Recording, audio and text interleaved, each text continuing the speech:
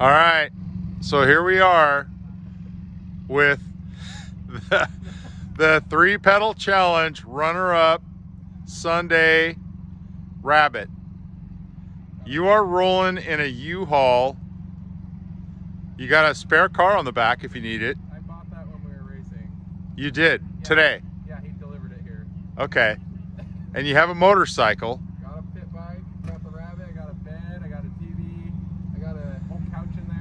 I'm just sorry I missed the loading up procedure for this. Cool, yeah. Nicely done. Well, good job racing, buddy. Yeah, Safe travels.